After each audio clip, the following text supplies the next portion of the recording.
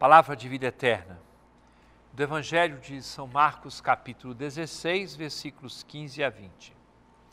Jesus se manifestou aos onze discípulos e disse-lhes: Ide pelo mundo inteiro e anunciai o Evangelho a toda criatura.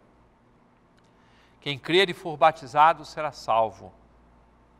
Quem não crer será condenado. Os sinais que acompanharão aqueles que crerem serão estes: expulsarão demônios em meu nome, falarão novas línguas, se pegarem em serpentes ou beberem algum veneno mortal, não lhes fará mal algum. Quando impuserem as mãos sobre os doentes, eles ficarão curados. Depois de falar com os discípulos, o Senhor Jesus foi levado ao céu e sentou-se à direita de Deus. Os discípulos então saíram e pregaram por toda parte.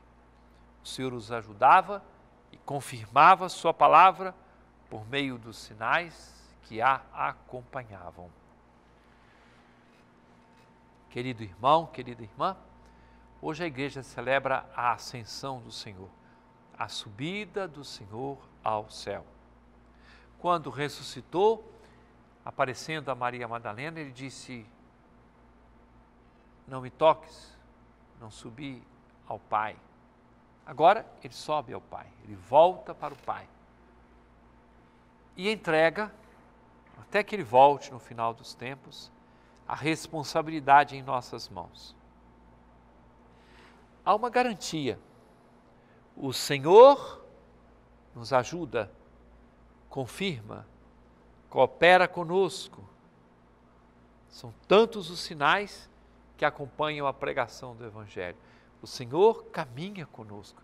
Existem, sim, esses sinais extraordinários de curas, de, de milagres que acompanham a pregação do Evangelho. Mas existe a beleza da conversão. Até eu gosto muito do Evangelho de São Marcos, porque ele faz as pessoas acompanharem o Senhor, sua pregação, seus milagres, mas na realidade é lá debaixo da cruz que as pessoas precisam reconhecer Jesus como Salvador, Jesus como Filho de Deus que a pregação do Evangelho recebida por nós nos leve a acolhê-la no coração, com profundidade, com seriedade. E esta mesma pregação do Evangelho nos leve a comunicá-lo através das palavras e dos gestos às outras pessoas. Podemos comunicar até com o silêncio. O Papa Bento XVI, na mensagem para o Dia Mundial das Comunicações Sociais, que é hoje, o tema que ele escolheu foi o silêncio e a comunicação. Quantas pessoas tão silenciosas e tão simples comunicam o Evangelho. Percorramos uma estrada semelhante. Palavra de vida eterna.